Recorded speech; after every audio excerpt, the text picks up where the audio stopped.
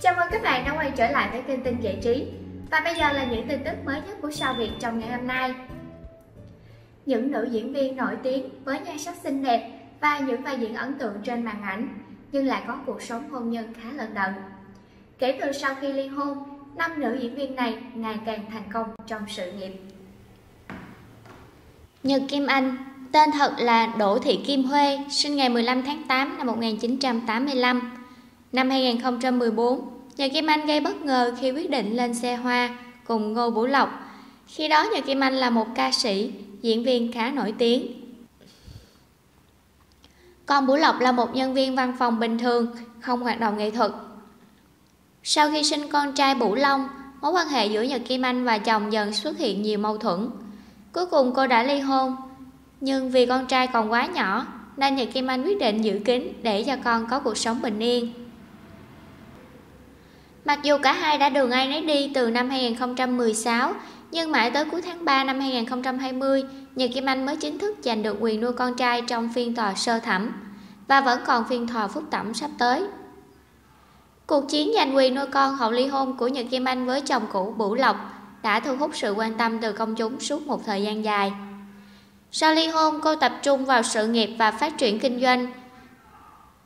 Tháng 3 năm 2019, Nhờ Kim Anh mua biệt thự 200m2 có giá hàng chục tỷ đồng tại khu dân cư cao cấp Bình Chánh, thành phố Hồ Chí Minh. Kể từ đó, cuộc sống và khối tài sản của nữ ca sĩ nhận được sự chú ý và ngưỡng mộ từ nhiều người. Sau ly hôn, cô tập trung vào sự nghiệp và phát triển kinh doanh.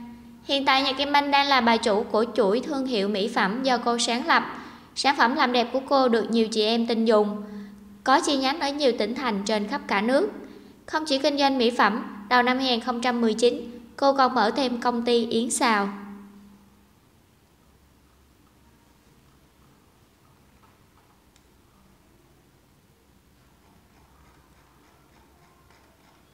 Ngọc Lan Ngọc Lan sinh năm 1985, được biết đến qua các phim Kiều Nữ và Đại Gia, Cổng Mặt Trời, Luật Trời. Thanh Bình và Ngọc Lan từng là một trong những cặp đôi đẹp của làng giải trí Việt. Họ đều là những diễn viên có thực lực và có vẻ ngoài rất tương xứng. Cặp đôi là đôi bạn nhiều năm trước khi chuyển sang tình yêu. Dù chưa tổ chức hôn lễ, nhưng Thanh Bình và Ngọc Lan đã đăng ký kết hôn và tổ chức lễ đính hôn đẹp như cổ tích. Sau đó họ hạnh phúc chào đón con trai đầu lòng tại Mỹ. Khi trở về Việt Nam, Thanh Bình Ngọc Lan xây ngôi nhà mới để làm tổ ấm. Nữ diễn viên phim Kiều Nữ và Đại Gia từng hạnh phúc chia sẻ với người hâm mộ Nữ diễn viên, phim Kiều Nữ và Đại gia từng hạnh phúc chia sẻ với người hâm mộ vì chồng sau thời gian vất vả làm việc tại phim trường lại lo lắng hoàn thiện căn nhà. Sinh nhật Ngọc Lan, Thanh Bình cũng mua một chiếc xe hơi tặng cô. Trong một game show truyền hình, Ngọc Lan thừa nhận sau rất nhiều sóng gió trong chuyện tình cảm. Khi ở bên Thanh Bình, cô mới thực sự cảm thấy bình yên. Cô lo lắng vung vén cho gia đình, thậm chí đảm đương phần lớn việc chăm con. Tuy nhiên vào khoảng giữa năm 2019, Cặp đôi vướng tin đồn ly hôn do không còn kết bạn với nhau trên Facebook và không còn hình ảnh chụp chung. Tối ngày 13 tháng 11 năm 2019, Thanh Bình Ngọc Lan lên tiếng xác nhận đã hoàn tất thủ tục ly hôn, cả hai sẽ cùng nhau chăm sóc con trai.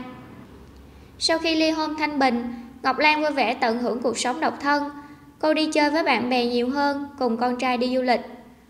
Tôi biết sau khi ly hôn diễn viên Thanh Bình Ngọc Lan và con trai được chuyển đến sống trong một căn hộ tại thành phố Hồ Chí Minh.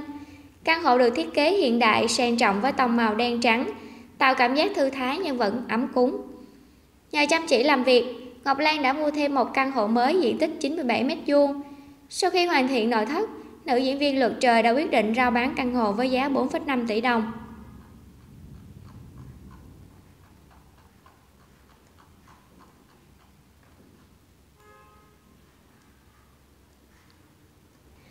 Trương Quỳnh Anh Trương Quỳnh Anh có tên thật đầy đủ là Đặng Trương Quỳnh Anh, sinh ngày 12 tháng 1 năm 1989.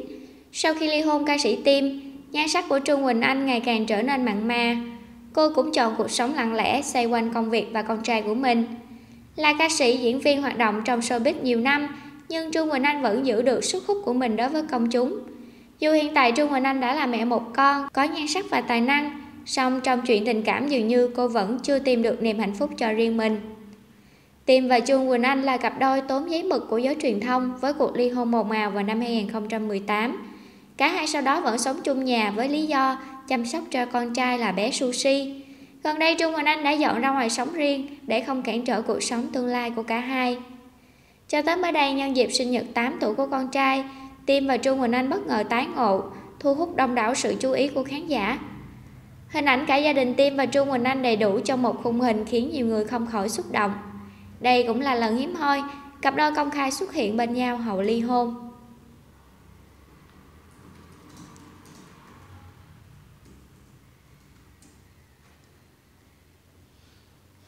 Dương Cẩm Linh, sinh ngày 13 tháng 10 năm 1982. Tháng 9 năm 2016, cô hạ sinh quý tử đầu lòng với nhà sản xuất phim Phạm Việt Anh Khoa. Trong thời gian mang bầu và sinh con, Phạm Việt Anh Khoa luôn chăm sóc và dành những điều tốt đẹp nhất cho vợ. Nữ diễn viên từng tự hào rằng cô đã có cuộc sống êm ấm hạnh phúc sau nhiều năm đau khổ vì cuộc tình trước. Cô cũng khẳng định chính Phạm Việt Anh Khoa là điểm tựa cho cuộc đời mình. Tuy nhiên năm 2018, Dương Cẩm Linh chia tay chồng Việt Kiều do bất đồng quan điểm. Sau khi ly hôn, Dương Cẩm Linh cùng con rời biệt thự tới sống trong căn nhà nhỏ. Những ngày bắt đầu cuộc sống mới, nữ diễn viên gặp vô vàng khó khăn, nhiều lần bật khóc. Sau hơn một năm, Dương Cẩm Linh tâm sự lúc này cô hài lòng với cuộc sống. Một năm làm việc chăm chỉ với bốn dự án phim, nhiều lần xuất hiện trên game show giúp cô dần cân bằng được cuộc sống và có thu nhập ổn định. Nói về mối quan hệ với chồng cũ, nữ diễn viên khẳng định vẫn giữ mối quan hệ tốt đẹp. Cô cho biết cả hai vẫn trò chuyện về con. Khi tôi bận không xoay sở được vẫn nhờ anh chăm con. Anh ấy có trách nhiệm nên chưa bao giờ từ chối san sẻ việc chăm con với tôi, cô nói.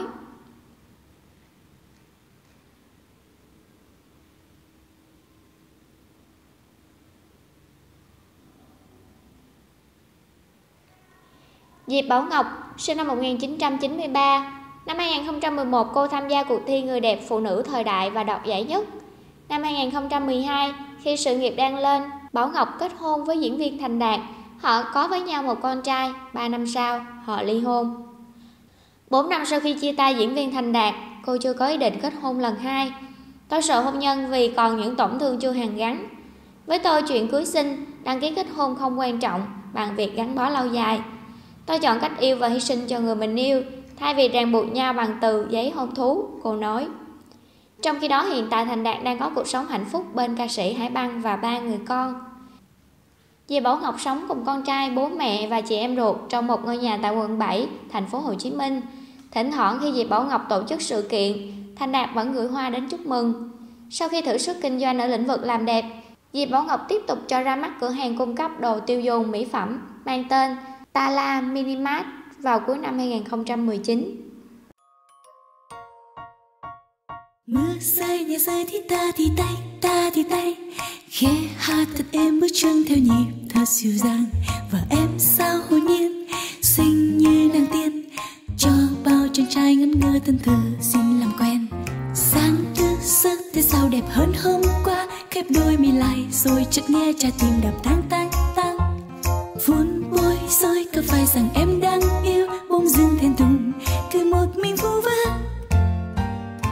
bước xuống phố trái tim dồn vang hân hoan. Hát câu yêu đầy nụ cười em để son hồng yêu dân yêu.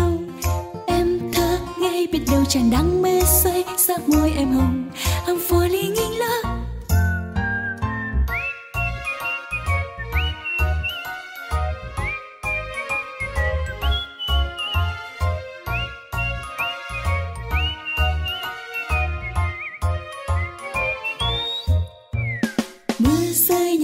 ta thì tay ta thì tay khẽ hạ thật em bước chân theo nhịp thật dịu dàng.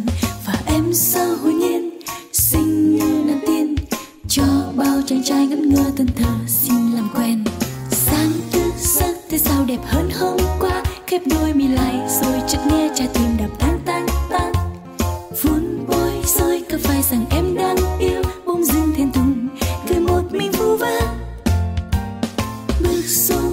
trái tim rộn vang hân hoan, hát câu yêu đời dù khi em lại sàn hồng yêu dân yêu, em thơ ngây biết đâu chàng đang mê say sắc môi em hồng hằng phôi ly nghinh lơ